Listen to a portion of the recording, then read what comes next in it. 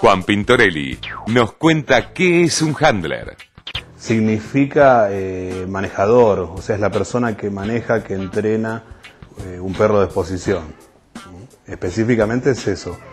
Eh, ahora, ser handler es un estilo de vida. No es un trabajo muy común, la gente no lo conoce. hay mucha gente que no sabe que existen exposiciones directamente y menos quién es la persona que, que maneja a los perros.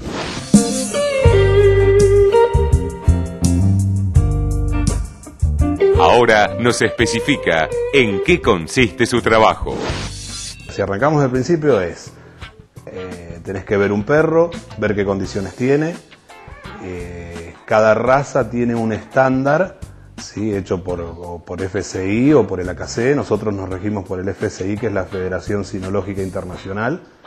Eh, si el perro cumple con determinadas pautas de ese estándar, es un perro al cual se lo puede llamar como perro de show o perro de exposición. Una vez que tenés el ejemplar, eh, se empieza...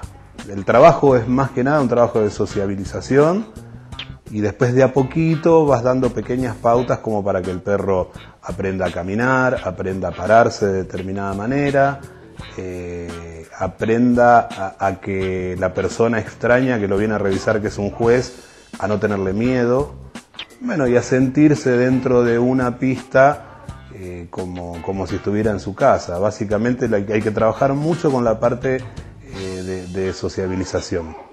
¿sí? Que hay, que enseñarle a que tenga un perro adelante y un perro atrás y él se quede en ese lugar.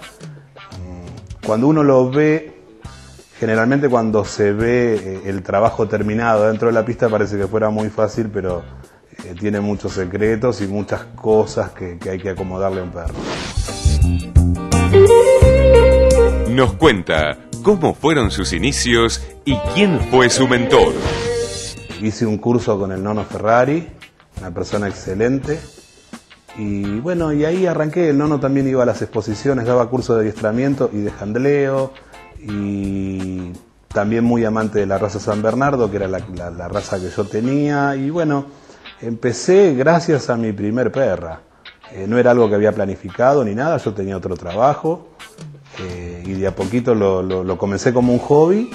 Yo no lo, no lo debería decir, o sea, no lo deberían escuchar mis clientes, pero eh, si a mí no me pagaran yo lo haría igual porque me gusta mucho. Descubrí, yo creo que soy un afortunado porque trabajo de algo que realmente me gusta.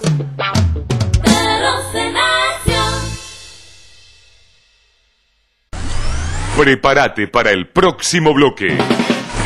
El señor Miguel Ángel Martínez se encontró en Montevideo con los mejores ejemplares de Latinoamérica y tendrá el compromiso de elegir al mejor de exposición en la fiesta 70 aniversario del Kennel Club Uruguayo.